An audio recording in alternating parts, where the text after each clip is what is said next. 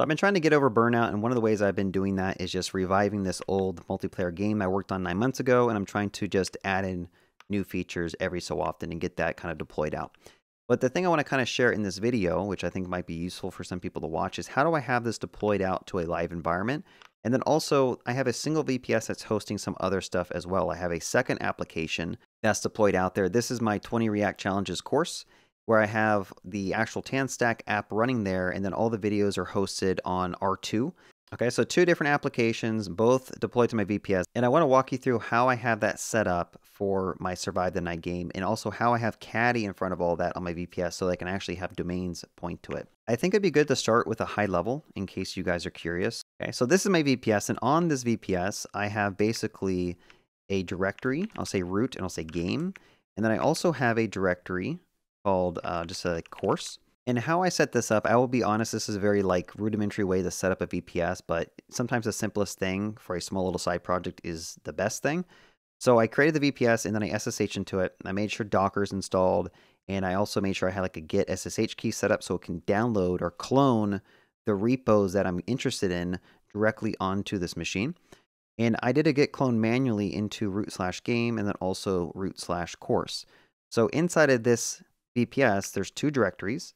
And inside of that, we have two Docker Compose files. So Docker Compose YAML, one's for the game, and then also one is for my course platform. Now this one involves creating a database. I do think I have a database over here that gets created eventually inside of Docker. I have like a volume mount. And this one over here doesn't really use a database. It's just like a, a web server and a Next.js application to host the application. So this is the simple setup, and I would recommend this for a small side project or like a, you know, a low traffic site. Putting multiple things in the same VPS probably has some additional risks involved with it because if someone DDoSes the game, that means my course platform will probably go down as well. But again, these are all Docker containers, and so you can actually put like hard limits on memory and CPU usage. So if someone DDoSes the game, maybe it'll just crash the game and not actually affect the whole machine at large. But of course, the actual network traffic in and out of the VPS could potentially be a, an attack vector. But anyway, this is the setup. And if I were to go over to the VPS and just say Docker PS, you'll see I have a couple of things running on that. I have the Survive the Night game website that's running on a particular port. I have the game server running. And then over here, I have the actual course platform. I have a Postgres database. And then I have Caddy. Okay, this is something I'll talk about in just a second. And if I check out the actual root directory, you'll see that I have the Survive the Night game, which I get cloned, and also the, the course platform, which I get cloned. But outside of that, I created two files manually.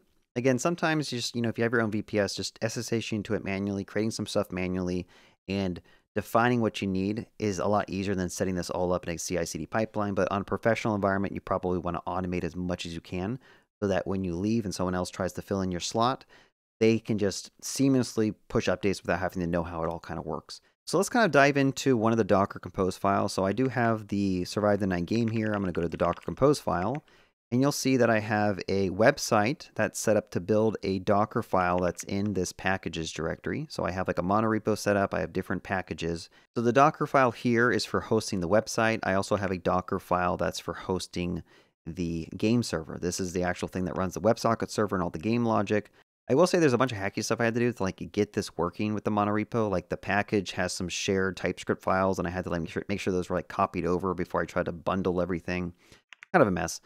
But overall, this is the important part. We have a Docker Compose file which hosts the game, and I also tell the website how I can connect to my game server. So I have the WebSocket secure layer here that points to a particular domain, and then I have the game server down here. I think the thing to point out though is these ports. Since I'm trying to run all these things on the same machine, having some exposed port so I can put Caddy in front of it and point it to port, you know, 3005 for the game website and 3006 for the game web server was kind of important. Um, because the other one is also using, you know, similar ports. I had to make sure those were different. And then there's also an external network I had to define. Uh, so instead of typically I define like the bridge network inside the Docker Compose, I decided to make the network be an external thing I defined on the VPS itself so that I could eventually have Caddy kind of hook into that same network as well. Okay, so this is how the Docker Compose file looks for this one. Also for the course platform, it looks very similar.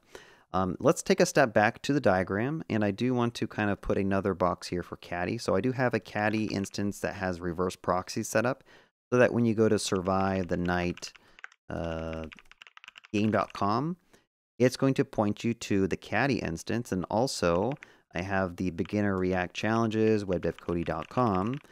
Uh, if I could type, that's also going to point to the Caddy instance.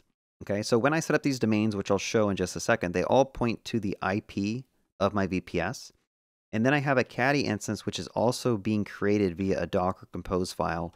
That is going to do a reverse proxy setup so that if someone hits this VPS with this domain, it knows to route the traffic to the game instance or the WebSocket server that's running here. Also with this other one, it'll route to the right um, Docker running container as well. All right, so that's kind of a high level architecture, how this is kind of set up. Let's go back to the terminal because I do want to show you. If I were to load up the caddy file, you'll see that I have a caddy configuration that is basically setting up that reverse proxy. So you'll see over here I have survivethenightgame.com. It's reverse proxying to a app called website on port 3000. And then survivethenightgame.com with the WebSockets is going to port 3001. It's looking for something called game server. So these are kind of important. I want to point these out. If I were to go, you'll see that there's a game server definition here, and there is a website service, I guess you can call that. Um, now that I think about it, I'm not sure if this port forwarding was even impor uh, important. I probably could have actually removed this and it might work the same way. I need to kind of experiment with that. But you'll see Caddy knows how to point the domain. When someone hits that domain, it knows to go to the website that's running on this particular Docker instance because they're all sharing the same network. Technically, I guess I could put like a little network here. Uh, there's a network called web, and all of these are using the same network so that the Caddy instance knows how to kind of like direct traffic to the proper containers. So now that this chart looks like a bunch of spaghetti, let's go ahead and keep on diving into it. I also have this definition so that if I go to beginnerreactchallenges.com, it'll take you to that Docker container service name, which again is running on port 3000. So that's a Caddy configuration. I do like Caddy a lot. I think there's also something called Traefik that people use. Um, I just like using Caddy just because I don't want to learn yet another service that does the same thing. Let's look at the Docker Compose file that I have running. So here's my third Docker Compose file, which I didn't document in this diagram. I probably should kind of put one there, which is defining, you know, where you can load in that configuration file, which happens to be in that same directory. And then also I'm specifying that it needs to use the web network, so they all kind of share this same network resource. But then we also have some ports open so that it can actually have like the HTTPS set up. Um, and then down here we have networks web external as well. Now for the Caddy instance, I manually just did a Docker Compose up from this directory. But for the other two, I do want to share like how does this automatically update when I push commits to my Git repo. Okay, so I'm gonna go ahead and walk you through that as well. Over here, we have a GitHub folder here, and inside of that we have workflows, and I have a deploy workflow. Let's go ahead and check this one out. This is a very simple rudimentary way to get changes deployed out to VPS. So whenever changes are pushed to main, we are going to basically SSH into the machine, and I just run a git fetch, a git reset to make sure everything on the machine is just reset to whatever the main is, and then I just do a docker compose up and I just force it to rebuild. Some watching this may argue that this is pretty hacky. There's probably better ways to run this, and I'd be interested. Leave a comment below if there's a better way you think I should be orchestrating multiple applications all running the same VPS. I have found this to be pretty simple and straightforward, and it kind of works, right? Now, I will say there is a Docker stack approach that you can use that probably might simplify my setup. And I've actually have a YouTube video where I talked about this. I just don't do it on this project for some reason because, again, sometimes the simplest approach, just like SSHing into the machine and just forcing it to pull the new changes, um, works pretty fine. Now, the only issue with this approach is that I'm actually building the image on the VPS itself. So if the VPS is not powerful enough, sometimes building up images can require a lot of CPU and memory. And so you want to make sure that building images during a deployment doesn't affect the overall uh, health of the machine, right? Doing a simple push to my game might kick off a Docker build, which causes my course platform to kind of slow down or cause issues. But overall, we're not building like some some big code base, right? We're building something really simple, some TypeScript stuff. So just to kind of document that, when I push to GitHub main, so push to GitHub main, that is going to kick off a workflow which again is going to SSH into this box, and then it's going to CD into that directory, which is right here.